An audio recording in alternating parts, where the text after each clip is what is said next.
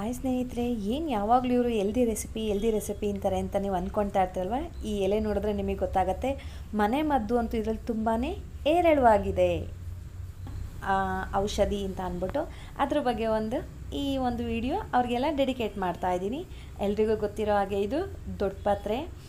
ಚಿಕ್ಕದೊಂದು, ಒಂದು ಎಲೆ ನೆಟ್ಟರು ಕೂಡ ಪಾಟಲ್ಲಿ ತುಂಬ ಚೆನ್ನಾಗಿ ಬರುತ್ತೆ. ಇದರಿಂದ ಬಜ್ಜಿ ಮಾಡ್ತಾರೆ. ಚಟ್ನಿ ಮಾಡ್ತಾರೆ. ಇದ್ರದ್ದು ರಸ ತೆಗೆದು ನೆಗಡಿ, ಕೆಮ್ಮು, ಆ ಥರ ಏನಾದರೂ ಆಗಿದ್ದರೆ ಇದನ್ನು ಸ್ವಲ್ಪ ಎಲೆ ಬಿಸಿ ಮಾಡಿಬಿಟ್ಟು, ತವ ಮೇಲೆ ಅಥವಾ ಬಾಣಲಿನಲ್ಲಿ ಅದರ ರಸ ತೆಗೆದ್ಬಿಟ್ಟು ಒಂದು ಸ್ಪೂನ್ ಕುಡಿದ್ರೆ ಅದೆಲ್ಲ ನಿವಾರಣೆ ಆಗುತ್ತೆ. ಮತ್ತು ಇದನ್ನು ಚಟ್ನಿ ಮಾಡೋಣ ಇವತ್ತು. ಹೇಗೆ ಮಾಡೋದು ಅಂತ ನೋಡ್ಕೊಂಬರೋಣ ಕಾಯಿ, ಕೊತ್ತಂಬರಿ ಸೊಪ್ಪು, ಕಡಲೆ ಮೂರು ಬೆಳ್ಳುಳ್ಳಿ ತೊಗೊಂಡಿದ್ದೀನಿ. ಸ್ವಲ್ಪ ಏನು ಹೇಳ್ತೀವಿ ಸ್ವಲ್ಪ ಅಂತೀವಲ್ವ? ಅಷ್ಟೇ ಸಾಕು. ಹುಣಸೆ ಹಣ್ಣು, ಎರಡು ಹಸಿಮೆಣಸಿನ್ಕಾಯಿ ನೋಡ್ಬೋದು ಇಲ್ಲಿ ದೊಡ್ಡ ಪತ್ರೆಯಲ್ಲಿ ಎಷ್ಟು ತೊಗೊಂಡಿದ್ದೀನಿ ಅಂತ ಅಂದ್ಬಿಟ್ಟು ಇದನ್ನು ಒಂದು ತವ ಮೇಲೆ ಬಿಸಿ ಮಾಡ್ಕೊಳ್ಳೋಣ. ಎರಡು ಸೈಡಲ್ಲಿ ಬಿಸಿ ಮಾಡೋಣ. ನಮಗೇನಾದರೂ ಮೆಂಟಲಿ ನಮಗೇನಾದ್ರು ಪ್ರೆಷರ್ ಆಗ್ತಾ ಇದೆ, ಅಷ್ಟು ನಮ್ಮ ಮೈಂಡ್ ಫ್ರೀ ಇಲ್ಲ ಅಂತ ಅಂದರೆ ಇದ್ರದ್ದು ಒಂದು ಸ್ಪೂನ್ ರಸ ಈ ಥರ ಹಿಂಗೆ ಬಿಸಿ ಮಾಡಿಬಿಟ್ಟು ಅದ್ರಲ್ಲಿ ರಸ ತೆಗೆದು ಕುಡಿದ್ರೆ ಎಷ್ಟೋ ರಿಲ್ಯಾಕ್ಸೇಷನ್ ಆಗುತ್ತೆ ಸ್ನೇಹಿತರೆ.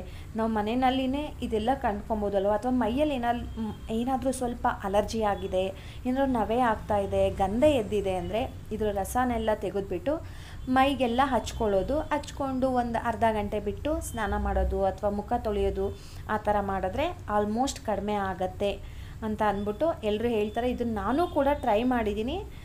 ವರ್ಕ್ ಆಗಿದೆ ಸ್ನೇಹಿತರೆ, ಅದಕ್ಕೋಸ್ಕರ ನಿಮ್ಮ ಜೊತೆ ನಾನು ಶೇರ್ ಮಾಡ್ತಾ ಇದ್ದೀನಿ. ನೋಡಿ, ಎರಡೂ ಸೈಡಲ್ಲಿ ಒಂದು ಎರಡು ನಿಮಿಷ ಸಾಕು ಸ್ನೇಹಿತರೆ ಮಾಡಿದ್ರೆ ನೋಡಿ, ಈ ಥರ ಫುಲ್ ಎಲ್ಲ ಏನಂತಾರೆ, ಎಲ್ಲ ಮುದ್ರಕೊಂಬಿಡುತ್ತೆ ಅಂದರೆ ಎಲ್ಲ ಫ್ರೈ ಆದಂಗೆ ಆಗತ್ತೆ. ಇಷ್ಟ ಆದರೆ ಸಾಕು ನಮ್ಮ ಚಟ್ನಿಗೆ ದೊಡ್ಡ ಪಾತ್ರೆ ರೆಡಿ ಆಗಿದೆ. ನಮ್ಮ ಹೆಣ್ಮಕ್ಳಲ್ಲಿ ಈಗಂತೂ ಆಲ್ಮೋಸ್ಟ್ ನೋಡ್ತಾ ಇದ್ದೀವಿ ಎಲ್ರಿಗೂ ಬ್ರೆಸ್ಟ್ ಕ್ಯಾನ್ಸರ್ ಅಂತ ಅಂದ್ಬಿಟ್ಟು. ಇದನ್ನು ಒಂದು ಲಿಮಿಟೆಡಲ್ಲಿ ತಿಂತಾ ಬಂದರೆ ವೀಕ್ಲಿ ಒನ್ಸು ಅಥವಾ ಫಿಫ್ಟೀನ್ ಡೇಸ್ ಒನ್ಸು, ಅದು ಬರೋಕ್ಕೆ ಮುಂಚೆನೇ ಇದನ್ನು ಪ್ರಿಸರ್ವೇಟಿವ್ ಆಗಿ ಅಥವಾ ಏನು ಹೇಳ್ತಾರೆ, ತಡೆಗಟ್ಟತ್ತೆ ಅಂತ ಅಂದ್ಬಿಟ್ಟು ಹೇಳ್ತಾರೆ. ಯಾಕೆ ಆಗಬಾರ್ದು ಅಲ್ವಾ? ಕಲ್ಲುಪ್ಪು ಹಾಕಿದ್ದೀನಿ, ಫ್ರೈ ಮಾಡಿರೋ ಅಂಥ ದೊಡ್ಡ ಪಾತ್ರೆ. ಇವಾಗ ಇದೆಲ್ಲ ತೊಗೊಂಡಿದ್ದೀವಿ ಅಲ್ವಾ, ಚಟ್ನಿ ಐಟಮು. ಇದನ್ನೆಲ್ಲ ಹಾಕಿ ಒಂದು ರೌಂಡ್ ಮಿಕ್ಸಿ ಮಾಡಿದ್ರೆ ರುಚಿ ರುಚಿಯಾಗಿರೋ ಅಂಥ ದೊಡ್ಡ ಪಾತ್ರೆ. ಚಟ್ನಿ, ರೆಡಿ. ನೀವು ಇದು ದೋಸೆ, ಇಡ್ಲಿ, ನೀವು ಏನು ಬೇಕಾದ್ರೂ ರೈಸ್ ಜೊತೆ ತಿಂದ್ರಂತೂ ಇನ್ನೂ ತುಂಬ ಚೆನ್ನಾಗಿರುತ್ತೆ ಸ್ನೇಹಿತರೆ. ನೀವು ಒಂದ್ಸಲ ಟ್ರೈ ಮಾಡಿ ನೋಡಿ. ನೀವೇ ಹೇಳ್ತೀರಾ, ನಿಜವಾಗ್ಲೂ ಚೆನ್ನಾಗಿದೆ ಅಂತ ಅಂದ್ಬಿಟ್ಟು. ದೊಡ್ಡಪತ್ರೆ ಇನ್ನೊಂದು ವಿಶೇಷತೆ ಏನು ಅಂತ ಅಂದರೆ ಸ್ನೇಹಿತರೆ, ರೋಗ ನಿರೋಧಕ ಶಕ್ತಿ ಜಾಸ್ತಿ ಮಾಡುತ್ತೆ. ನಮ್ಮಲ್ಲಿ ಆ್ಯಂಟಿಬಯೋಟಿಕ್ ಪವರ್ ನಮ್ಗೆ ಯಾವುದೇ ಬೇಗ ಕಾಯಿಲೆ ಅಟ್ಯಾಕ್ ಆಗ್ದಲೇ ಇರೋ ಥರ. ಈಗಂತೂ ಮಕ್ಕಳು ಸ್ಕೂಲ್ಗೆ ಹೋಗ್ತಾರೆ, ಆಚೆ ಇರ್ತಾರೆ. ಅವರಿಗಂತೂ ಬೇಗನೆ ಇನ್ಫೆಕ್ಷನ್ಸ್ ಆಗ್ತಾ ಇರುತ್ತೆ. ಇದನ್ನು ನಾವು ಕಡಿಮೆ ಮಾಡ್ಬೋದು.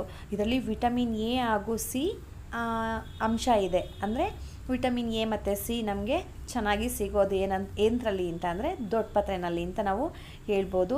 ಒಮೆಗಾ ಸಿಕ್ಸ್ ಅಂತ ಏನು ಹೇಳ್ತೀವಿ, ಅದು ಕೂಡ ಇದರಲ್ಲಿ ಚೆನ್ನಾಗಿದೆ. ಈಸಿಯಾಗಿ ನಾವು ದುಡ್ಡು ಕೊಡ್ದೇ ಸಿಗೋ ಅಂಥ ವಿಟಮಿನ್ ಇರ್ಬೋದು, ಪ್ರೋಟೀನ್ಸ್ ಇರ್ಬೋದು, ಮನೆ ಮದ್ದು ಇರ್ಬೋದು, ಇದರಲ್ಲಿ ಸಿಗುತ್ತೆ ಅಂದರೆ ಯಾಕೆ ಟ್ರೈ ಮಾಡಬಾರ್ದು? ಅಲ್ವಾ ಸ್ನೇಹಿತರೆ? Thank you. Thank you very much.